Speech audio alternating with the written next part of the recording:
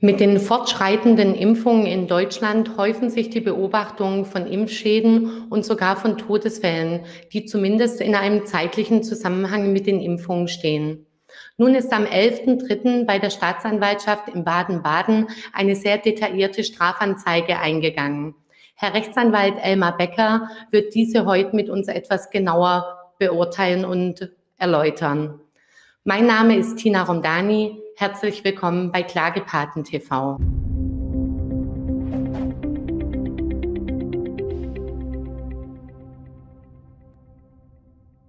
Hallo Elmar. Elmar, du bist schon ein häufiger Gast bei uns bei Klagepaten TV, sprich ich brauche dich hier gar nicht mehr groß vorstellen. Du stehst uns als Anwalt mit Rat und Tat schon seit vielen, vielen Monaten zur Seite. Und mir ist es wichtig, über diese Strafanzeige zu sprechen. Die findet ihr übrigens auch unten ähm, verlinkt. Dort findet ihr auch einen Link mit unserer Kontonummer für Spenden und eben auch den Button zum Teilen, Liken unserer Inhalte. Und genau diese Unterstützung brauchen wir von euch, um solche Sendungen, wie wir es heute haben, möglich zu machen. Ich bedanke mich herzlich bei euch. So, Elmar, jetzt zu dir. Hallo, ich freue mich, dass du wieder da bist. Hallo Tina, ich freue mich auch.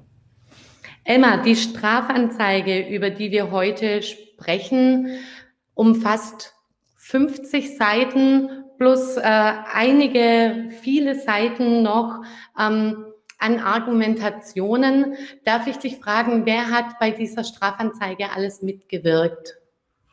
Ja, eingereicht hat sie ähm, Tobias Schmidt, äh, Patientenvertreter, mitgewirkt haben. Und an dieser Stelle nochmal ganz herzlichen Dank an die äh, hochrangigen Wissenschaftlerinnen, die Uta, die Susanne, ja, und auch die Johanna. Und ich hoffe, ich habe keine äh, vergessen. Sie sind in dem Thema drin. Äh, sie sind äh, ein, zwei Ärztinnen. Eine ist Wissenschaftlerin, ist Veterinärmedizinerin, also sozusagen in den Fußstapfen von Herrn Wieler und auf Augenhöhe mit ihm. Dankeschön. Auch von uns unseren Dank an alle Mediziner und Anwälte, von Anwälten für Aufklärung, für Ärzte für Aufklärung, die da so intensiv zusammenarbeiten. Jetzt muss ich es leider vorne wegnehmen. Ähm, die Strafanzeige, die wir hier jetzt im Detail besprechen, ähm, wurde mit, der, mit einem Satz von der Staatsanwaltschaft Baden-Baden abgewiegelt. Ich zitiere, Ihre Strafanzeige vom 11.03.2021 habe ich mangels Anfangsverdachts keine Folge gegeben. Ohne jetzt erstmal näher auf die Anzeige einzugehen, wir haben ein Werk von 50 Seiten plus, sprich insgesamt sind es 86 Seiten, die eingereicht wurden. Darf eine Staatsanwaltschaft eine so wichtige, tragende Strafanzeige überhaupt in einer so kurzen Zeit ähm, nicht weiterverfolgen, einstellen. Man hat das Gefühl, in dieser Zeit hat man gar nicht die 86 Seiten lesen können, geschweige denn sich inhaltlich damit auseinandersetzen. Ja, liebe Tina, in der Tat, äh, die Anzeige, die wir am Donnerstag eingereicht haben, kam schon am Freitagmittag zurück. Und ähm, das zeigt mir, wenn ich es mal ähm, lustigerweise kommentieren möchte, wie schnell doch deutsche Behörden äh, arbeiten können. Das ist Weltklasse. Das waren, wie du gesagt hast, über 50 Seiten mit einem wissenschaftlichen Anlagenkonvolut. Von daher gut. Auf der anderen Seite dokumentiert das, dass äh, wir es mit einer Staatsanwaltschaft zu tun haben, die weisungsgebunden ist die kein Interesse an einer sachlichen Aufklärung der ganzen Geschichte hat. Aber ich habe auch eine gute Botschaft. Die nächsten Anzeigen sind schon raus. Und wir von uns aus, ja, Tobias Schmidt als Patientenvertreter und auch die Wissenschaftlerinnen, wir machen weiter. An dieser Stelle nochmal einen ganz schönen Dank an die, die uns unterstützt haben. Die Uta, die Susanne und auch die Johanna. Tolle Wissenschaftlerinnen mit einer Expertise. Ähm, eine ist Veterinärmedizinerin, also auf Augenhöhe mit ähm, Herrn Wieler. Und die anderen beide sind Ärztinnen. Und die haben uns fachlich so überzeugend ähm, beraten. Auch wir haben es dann rechtlich verprobt und einfach gesagt, wenn das so ist, dann haben wir einen Anfangsverdacht. Und wir haben auch den Blick über die Grenzen gerichtet. Was macht Norwegen? Was machen andere Länder? Die haben schon bei den ersten Todesfällen Ermittlungen aufgenommen und Deutschland nicht.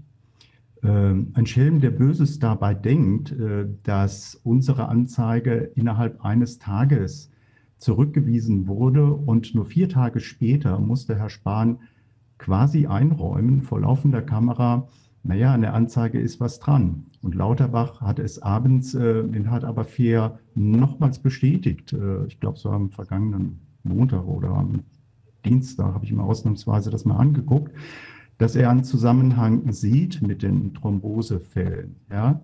Und wenn ich das sehe und es billigend in Kauf nehme, dann habe ich dafür kein Verständnis und ich appelliere nochmal an die Staatsanwaltschaft, uns die Hand zu reichen. Wir haben einen Anspruch gegenüber dem Staat auf lückenlose, schonungslose Aufklärung, denn es geht um Leben und Tod. Und die ganze Pandemie, die hat Frau Merkel auf eine Karte gesetzt, auf die Impfung. Sie hat gesagt, nur wenn alle durchgeimpft sind und natürlich im Merkel-Sprech weltweit, dann ist erst die Pandemie zu Ende. Und jetzt haben wir eine Reihung von Pleiten genau. und Pannen. Und die, äh, die Regierung und auch die Staatsanwaltschaft, die senden die falschen Signale. Das richtige Signal wäre gewesen, okay, es könnte was dran sein. Keiner will jemand vorverurteilen. Aber sowohl der Staat als auch die Wissenschaftler, die Ärzte, die müssten ein fundamentales, originäres Interesse daran haben, aufzuklären. Ja. Die Strafanzeige wurde quasi innerhalb von einem Tag abgewiegelt, aber man hat gesehen, der Impfstoff wurde, ein Impfstoff wurde jetzt vom Markt genommen, beziehungsweise die Impfung damit wurde gestoppt. Gibt es die Hoffnung, dass es eben doch greift? Also, dass es zwar auf der einen Seite offiziell nicht aufgenommen wird, aber auf der anderen Seite das Signal ankam, auch wenn man sich als Antwort ein anderes Signal gewünscht hätte? Ja, ich gehe definitiv davon aus, nicht? Und äh, diese Anzeige und auch andere, die werden ja durchaus ähm, durchgereicht äh, zu den Entscheidungsträgern, ja. Und das sind Signale, und wir werden, da bin ich ganz sicher, wir werden Patienten finden und hoffentlich, auf dieses Thema gehe ich nachher noch ein, äh, dass es möglich ist, auch Todesfälle ähm, zu beweisen, dass sie im ursächlichen Zusammenhang mit der Impfung stehen. Zurzeit wird ja tatsächlich beim Paul-Ehrlich-Institut ein Fall untersucht, wo ein 24-jähriger Pfleger eine Gehirnblutung erlitten hat nach einer Impfung. Und ich gehe fest davon aus, dass hier ein äh, Thrombosegeschehen äh, stattgefunden hat, wie es auch Professor Bhakti und andere beschrieben haben und wir auch in unserer Anzeige, dass es im Zusammenhang mit äh, den Impfungen zu Thrombosen, Schlaganfällen und Herzinfarkten äh, kommen kann. Jetzt ist ja in der Strafanzeige besonders das Thema Impfsicherheit aufgegriffen worden. Dieser Bereich ist sehr wichtig. Wir wissen alle, die Impfstoffe sind in einer sehr kurzen Zeit hergestellt worden. Immer wieder taucht das Wort Notfallzulassung auf beziehungsweise es wird gesagt, es ist keine Notfallzulassung. Kannst du uns zu dem Status etwas berichten? Handelt es sich jetzt wirklich um zugelassene Impfstoffe? Ist es eine Notfallzulassung? Wie ist man da vor, vorgegangen?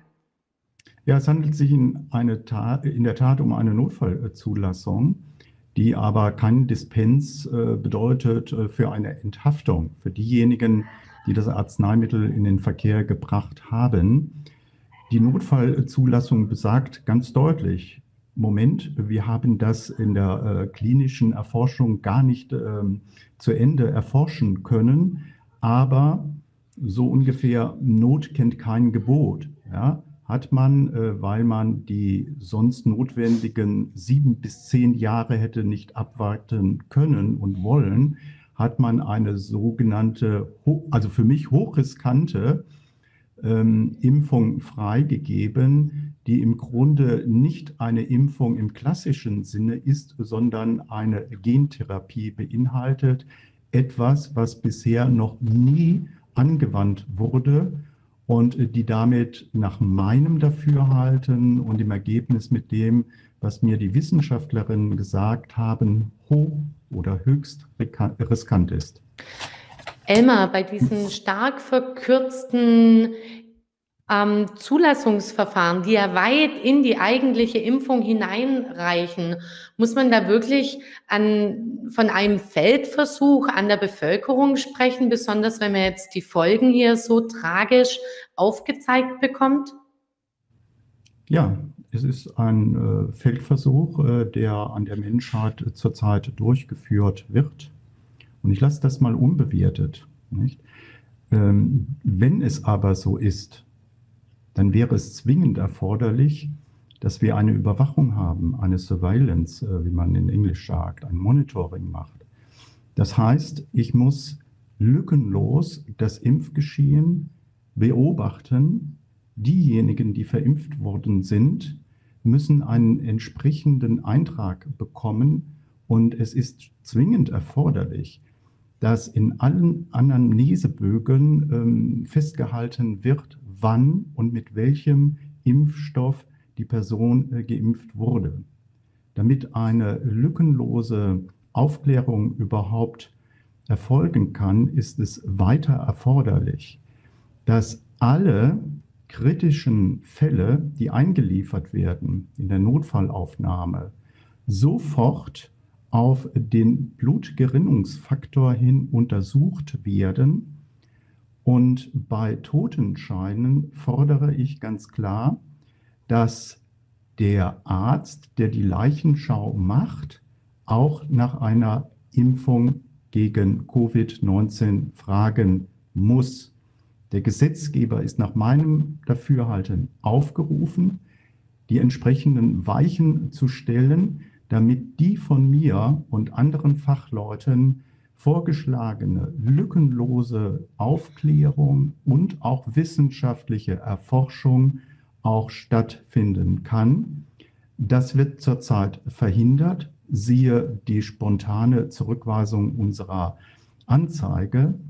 Und ich sage noch etwas, warum es auch verhindert wird. Es wird verhindert, weil das Paul-Ehrlich-Institut die im zeitlichen Zusammenhang mit Impfungen Verstorbenen gar nicht in seine Akten bekommt, wenn im Totenschein eben nicht vermerkt wurde, dass eine Impfung vor und im Zusammenhang, zeitlichen Zusammenhang stattgefunden hat. Wenn ich das nicht mache, dann äh, verschwinden äh, die Leute unerkannt und unerforscht. Und das ist für mich ein, ein Skandal. Und das ist auch das falsche Signal, was die Regierung jetzt mit ihren Durchhalteparolen bringt. Nein, es geht nicht um Durchhalten, sondern wenn, dann muss ich die gesamte Bevölkerung aufklären über den Impfschutz, der möglich ist und die damit verbundenen Risiken. Nur dann kann jeder Bürger für sich frei entscheiden, okay, mir ist der Impfschutz ausreichend, ich lasse mich impfen und nehme die mir bekannten Risiken in Kauf. Und das geschieht zurzeit nicht. Jetzt sind in der Strafanzeige gleich mehrere Straftatbestände aufgeführt. Kannst du kurz darauf eingehen, welche Straftatbestände von euch angeführt wurden in dieser Strafanzeige? Ja, in erster Linie haben äh, wir uns äh, konzentriert auf Verstöße gegen das Arzneimittelgesetz. Und ähm, das Arzneimittelgesetz hat äh, aus unserer rechtlichen ähm, Bewertung her den Vorteil, dass ich gar nicht aufgrund eines konkreten Impfschadens nachweisen muss, dass dieser Impfstoff gefährlich ist, sondern im Arzneimittelgesetz in den Paragraphen 5 und 8 heißt es, dass derjenige bestraft werden kann, der nicht nachweisen kann, dass der Impfstoff unbedenklich ist. Und das ist eine Umkehr der Beweislast. Und das hat die Staatsanwaltschaft gar nicht aufgegriffen. Ja? Und der Staat ist hier in eine Garantenstellung eingetreten, weil er die Impfung in einer Kampagne vorantreibt. Und dieser Staat haftet nach meinem Dafürhalten jetzt auch dafür, äh, wenn es zu negativen Impfschädefolgen kommt. Und wenn der Staat das nicht tut, ja, Aufklärung verhindert, dann setzt dann verliert er für mich jedes Vertrauen. Jetzt ist meine Frage, in der Strafanzeige habt ihr wirklich konkret Geschädigte genannt oder begründet sich das Ganze aus einem Verdacht heraus? Also wie muss man bei einer solchen Anzeige vorgehen? Wir haben ähm, äh, keine konkrete Person gehabt, äh, weil es hier nach meinem Dafürhalten in erster Linie um Verstöße gegen das Arzneimittelgesetz ging. Wir werden aber demnächst ähm, konkrete Fälle benennen können, die Impffolgen erlitten haben und die bereit sind, auch Anzeigen zu erstatten. Und ich darf an dieser Stelle jeden dazu einladen, uns die entsprechenden Fälle zu geben. Denn wenn wir einen Geschädigten als Anzeigenerstatter haben, dann können wir Ermittlungen erzwingen im sogenannten Klageerzwingungsverfahren vor dem Oberlandesgericht. Zurzeit haben wir mangels konkreter Personen, die Impffolgeschäden davongetragen haben, diese Möglichkeit noch nicht. Daher der dringende Aufruf an alle, die einen Impfschaden erlitten haben, diese Impfschäden bei uns zu melden und sich für eine Strafanzeige zur Verfügung zu stellen. Auch der Anruf an alle Angehörigen von Verstorbenen, die die Vermutung haben, dass der Tod im Zusammenhang mit der Impfung steht, bitte bei uns melden. Wir haben im Hintergrund in der Tat Pathologen und Gerichtsmediziner, die, in bereit, die bereit wären, eine entsprechende gerichtsmedizinische Untersuchung vorzunehmen. Das, was bisher noch durchgehend verweigert wird. Ich würde sagen, wir machen auf jeden Fall deine Kontaktmöglichkeiten noch unter dieses Video. Ich schließe mich den Aufruf an. Bitte meldet euch, wenn euch etwas komisch vorkommt, beziehungsweise wenn die Schäden und Folgen schon da sind oder gar Schlimmeres, geht in Kontakt mit uns oder eben direkt äh, mit dem Team, das hier äh, diese Thematik ausgearbeitet hat. Jetzt ist natürlich auch ein großer Punkt oder ein Punkt der Strafanzeige die mangelnde individuelle Untersuchung. Gerade wenn ich daran denke, dass das ein so stark verkürztes Zulassungsverfahren war, hat man doch in der Vergangenheit, wenn es um Impfung ging, bei seinem vertrauten Hausarzt die Möglichkeit gehabt, ordentlich untersucht und aufgeklärt zu werden. Ähm, hier ist jetzt das Problem, dass die Hausärzte oft rausgenommen sind. Man hat ein sehr unpersönliches System eingerichtet mit Impfteams und Impfzentren. Die Aufklärung ist rudimentärst, wenn ich das mal noch sehr vorsichtig formulieren darf. Ähm, viele vermuten dahinter System. Wie beurteilst du die Qualität der Aufklärung und der Voruntersuchung jetzt aktuell bei der Corona-Impfung? Also jede Aufklärung vor jedem körperlichen Eingriff, an solchen handelt es sich ja, ist zunächst mal Tatbestand einer Körperverletzung und nur aufgrund einer wirksamen Einwilligung ist er gerechtfertigt. Eine wirksame Einwilligung setzt aber voraus, dass ich vollständig und lückenlos aufgeklärt worden bin. Und das ist in concreto definitiv nicht der Fall. Es hätte darüber aufgeklärt werden müssen, dass gerade in den Seniorenheimen, wo Menschen jenseits von 80 Jahren geimpft worden sind und wie man heute hört, das ist erschütternd, auch ältere Menschen mit Vorerkrankungen, die dann nachher in der Presse kommentiert werden oder von der Regierung, naja, die wären sowieso bald gestorben.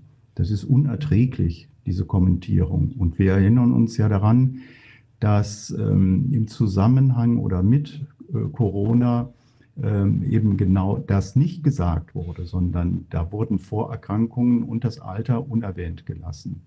Es wird auch nicht darüber aufgeklärt und auch nicht untersucht, was zwingend erforderlich wäre, ob möglicherweise bereits eine Infektionslage in einer Umgebung stattfindet.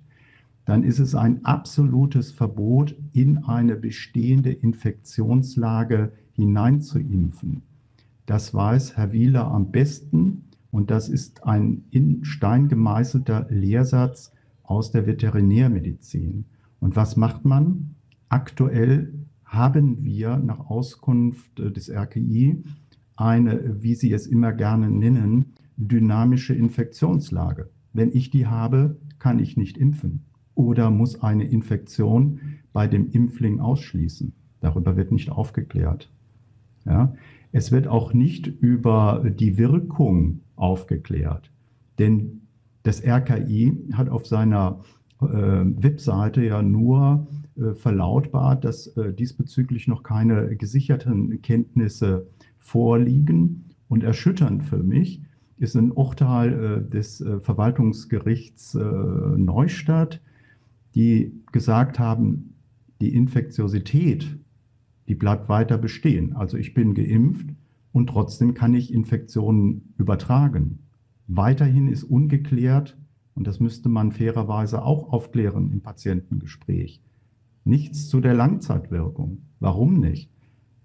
Weitestgehend wurden Personen jenseits von 65 Jahren aus den Studien ausgenommen. Ja, die Ermittlungen oder die Forschung, soweit das uns bekannt ist, äh, zum Beispiel mit BioNTech, fand mit 43.000 Personen statt, wovon 21.000 äh, dann Placebos bekommen haben. Und es ist in unserer Anzeige ja ausgeführt, dass auch dort die Zahlen ja irritierend und ähm, nicht ganz äh, transparent dargelegt äh, worden sind. All das kann man en Detail in unserer Anzeige, die wissenschaftlich basiert ist, nachlesen.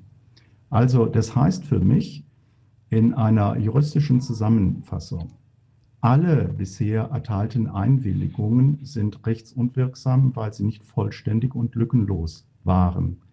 Und für alle Fälle, wo es zu einem Impfschaden gekommen ist, erfüllt das den Tatbestand der Körperverletzung. Jetzt ist es so, dass die Strafanzeige auch eine sehr detaillierte Auflistung enthält über die Risiken bei den verwendeten Impfstoffen, die diese mit sich bringen können. Es wird immer wieder darauf hingewiesen, dass diese Risiken zwar grundsätzlich bekannt seien, aber eben weder in Tierversuchen noch in ausreichenden Testphasen ausgeschlossen wurden. Zu diesen Risiken zählt unter anderem ähm, Lipid-Nanoartikel, die das Virusgen in die menschliche Zelle einschleusen, Vektortechnologie in Schimpansenviren, ungenügende klinische Studien, ungenügende Datenlage für Schwangere. Das sind natürlich alles äh, Dinge und besonders das Letztere, die einen aufschrecken lassen müssten. Schließlich kommt noch dazu, ähm, die Antikörperverstärkung ADE. Und hier zitiere ich mal, diese antikörperverstärkte Erkrankung ähm, ist ein Phänomen, das dazu führt, dass Menschen, die sich dann nach der Impfung mit dem entsprechenden Erreger auf natürlichem Weg infizieren, ein hohes Risiko für einen sehr schweren Verlauf mit Todesfolge haben können. Also allein diese kurze Aufstellung wird in der, in der Strafanzeige wird sehr detailliert mit Quellen belegt und es gibt noch viele weitere Beispiele, die wir hier in diesem Format gar nicht ähm, aufführen können. Und jetzt ist meine Frage, was muss man einer Staatsanwaltschaft noch an die Hand geben, damit agiert wird? Ja, Tina, das wüsste ich auch mal gerne. Ähm, wir haben sämtliche Beweise vorgelegt und auch die Spur, die Herr Professor äh, Bhakti verfolgt, ist nachvollziehbar und wissenschaftlich belegt. Warum man es trotzdem nicht macht, das hat ein Geschmäckle für mich. Nochmal, der Staat wäre doch gut beraten, hier verlorenes Vertrauen wieder einzuholen und sagen, Wir haben ein fundamentales Interesse daran, den Dingen nachzugehen. Tue ich es nicht, dann entsteht bei mir als Anwalt, nicht, da bin ich geprägt, immer der Verdacht, es gibt was zu vertuschen. Ja? Und wenn ich ähm, mir sicher bin, dass es zu keinen kausalen Zusammenhängen kommen kann, dann würde ich auch aufklären, die Karten auf den Tisch legen. Ja, ich kann mich nur anschließen. Also es ist belegt, dass im zeitlichen Zusammenhang mit dieser Impfung Schädigungen und Todesfälle aufgetreten sind. Man bekommt eine ausgearbeitete Anzeige, die ein Riesenbereich an Informationen mit sich trägt. Und da muss man hinschauen. Also bitte, liebe Staatsanwaltschaft, es geht hier um uns, die wir geimpft werden sollen. Und ich empfinde es auch als eine Verpflichtung des Staats gegenüber den Bürgern, da seiner Sorgfaltspflicht, Fürsorgepflicht oder seinem Gewissen nachzukommen und uns nicht einer solch unsicheren Impfung auszusetzen. Jetzt ist die Frage, ist Hoffnung im Sicht? Ähm, einer israelischen Gruppe ist es gerade gelungen, am Internationalen Gerichtshof in Den Haag eine Klage gegen die eigene Regierung einzubringen. Und zwar bezieht man sich in dieser Klage auf den Nürnberger Kodex, der sich gegen Experimente an Menschen wendet. Israel, muss man dazu sagen, ist ein Land, das wirklich unter härtesten Voraussetzungen mit ganz vielen Einschränkungen der persönlichen Freiheit das Impfen durchsetzt. Und die tolle Nachricht, dieses Verfahren wurde angenommen, nicht wie von der Staatsanwaltschaft in Baden-Baden. Ähm, wie Sie, was ist der Unterschied oder was ist der Vergleich zwischen dieser Anzeige beim Internationalen Gerichtshof in Den Haag und die Annahme und eben die Abweisung von der Staatsanwaltschaft in Baden-Baden? Naja, zunächst ist das mal beschämend und erhellend, nicht? Äh, dass also in Den Haag auf Grundlage der Anzeige, die aus Israel kommt, ein Verfahren eingeleitet wird, weil dort der Verdacht ähm, bejaht wird. Nicht? Ansonsten würde in Den Haag nicht ermittelt werden. Und wenn man das mit der Entscheidung der Staatsanwaltschaft in Baden-Baden gegenüberstellt, auch da kommen ein gewisse Zweifel auf. Ähm, es ist für uns nochmal die Botschaft, auch nur der erste Schritt. Die Schwäche unserer ersten Anzeige, das mag sein, hat daran gelegen, dass wir keinen konkreten Impfschaden präsentieren konnten. Deshalb die Aufforderung, äh, konkrete Impfschäden zu melden, die dann untersucht werden können. Und noch eine oder ein Tipp oder eine Einladung in Richtung jetzt geguckt, äh, Schadenersatz. Ja? Wir prüfen zurzeit sehr intensiv äh, die möglichen Schadenersatzansprüche und haben Rechtsgrundlagen äh, entdeckt, die sowohl eine Haftung bejahen gegenüber den Herstellern, trotz dieses immer wieder in der Öffentlichkeit kommunizierten Haftungsausschlusses. Diese Haftung ließe sich nicht ganz ausschließen, aber wir haben auch Anspruchsgrundlagen gefunden, die sich gegen die Impfärzte richten könnten, weil die Aufklärung eben nicht vollständig und richtig war. Und das scheint mir ein ganz interessanter und greifbarer Aspekt zu werden. Erforderlich ist natürlich für alle, die sich impfen lassen, ja, die wesentlichen Punkte zu dokumentieren, worüber wurde ich aufgeklärt, mir eine Durchschrift geben zu lassen und möglicherweise auch meine Fragen, die ich gestellt habe, dokumentieren. Dann ist wichtig, dass ich mir Namen des Arztes oder der Ärztin notiere. Dann kann ich nachher Haftungsansprüche gegen den Arzt, der ja eine Vermögenshaftpflichtversicherung hat, geltend machen. Das sind wertvolle, wertvolle Tipps. Ähm, dokumentiert, schreibt mit, notiert euch, was im Aufklärungsgespräch passiert. Wenn wir jetzt mal zum RKI blicken, kommt von dort der Hinweis, dass in Zukunft wohl verstärkt obduziert werden soll bei Verdachtsfällen. Werden hier jetzt Nebelkerzen gezündet oder gibt es wirklich Grund zur Hoffnung mit dieser Anweisung des RKIs? Ich glaube, das ist äh, eine Sprechblase. Wenn man das wirklich wollte, würde ich äh, sofort eine Verordnung, und das wäre Herr Spahn, äh, in Kraft setzen. Er ist ja jetzt ähm, Verordnungsgeber und würde sagen, es wird jetzt lückenlos auf jedem Totenschein danach gefragt, ob eine Impfung stattgefunden hat. Nur so ist eine Aufklärung möglich.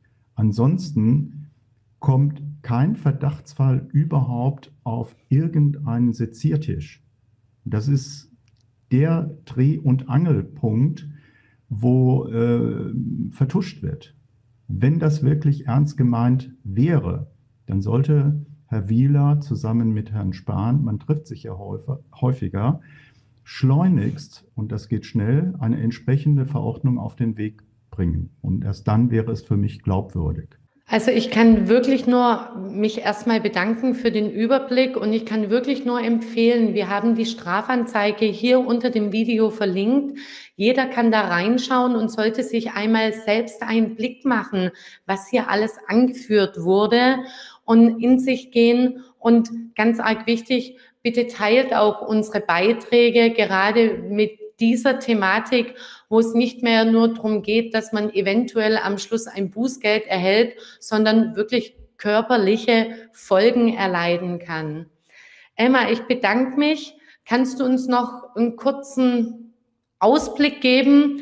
Wie sieht's aus? Was meinst du, was muss geschehen, damit diese berechtigten Sorgen von uns Bürgern endlich mal gehört werden und nicht innerhalb von einem Tag vom Schreibtisch von Staatsanwalten kommen, Staatsanwaltschaften kommen. Ja, ich bin von den Anwälten für Aufklärung und dafür stehe ich ein. Ich würde mir wünschen, dass diese Thematik offen und kontrovers auch in den Leitmedien geführt wird. Und wir als Bürger sind klug genug, um dann eine freie Impfentscheidung treffen zu können. Und abschließend, wir bleiben da am Ball. Wir versuchen mit unserer Aufklärung A, das Ziel zu erreichen, dass mehr Menschen äh, sich Gedanken machen. Das ist ein Beitrag. Aber auf der anderen Seite möchten wir auch dafür sorgen, dass durch unsere Aufklärung die Verantwortlichen nachher nicht mehr sagen können, wenn wir das gewusst hätten. Ja, wir wollen also auch eine gewisse Bösgläubigkeit bei den Entscheidungsträgern herstellen. Denn wenn dann trotzdem die Anweisung kommt, sich impfen zu lassen, ich denke schon einen Schritt weiter in Richtung direkter Impfzwang, Impfpass, das sind ja alles ähm, äh, Zwangsmaßnahmen, die de facto so wirken, wie jetzt in Israel auch, woher die Botschaften kommen, mein Leben ist beendet, weil ich nur noch mit Impfausweis rein kann, aber ich habe Vorerkrankungen. Ich kann mich nicht impfen lassen. Dagegen werden wir entschieden weiterkämpfen und werden da auch nicht nachlassen. Ja. Und dazu gehört Aufklärung in alle Richtungen. Auch, dass wir die Entscheidungsträger bösgläubig machen. Wir werden weiter an Anzeigen arbeiten. Wir werden weiter dafür sorgen, dass aus dem Arbeitsleben Arbeitnehmer keine Nachteile erleiden, wenn sie sich nicht impfen lassen können oder wollen. Und wir werden uns dagegen wehren, wie es zurzeit schon in Mode gekommen ist, dass Arbeitgeber Impfprämien aussprechen. Das ist eine indirekte Diskriminierung von denjenigen, die es nicht wollen.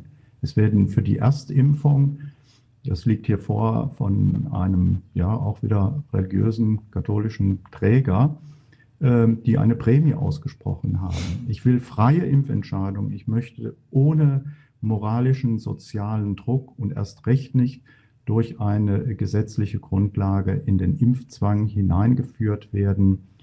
Ähm, das darf jeder und soll jeder nach guter Aufklärung für sich entscheiden.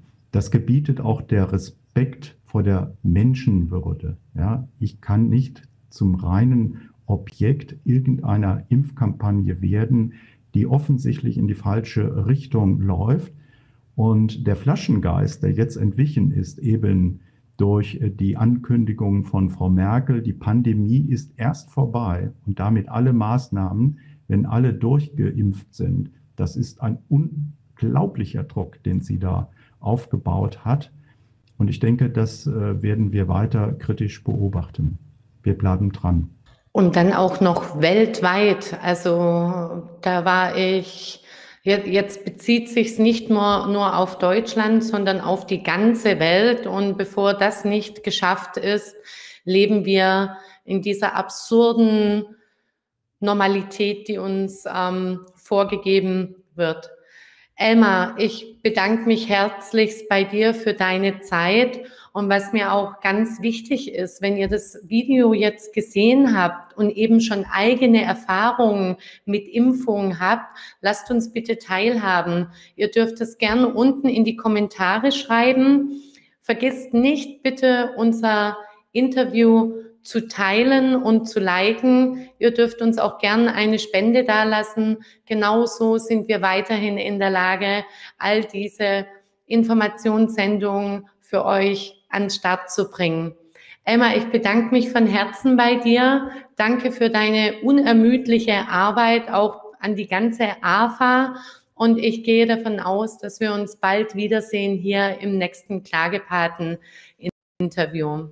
Würde mich freuen. So, ich bedanke mich bei euch da draußen und ich freue mich, euch bei der nächsten Sendung von Klagepaten TV wieder begrüßen zu dürfen. Macht es gut bis dahin, eure Tina.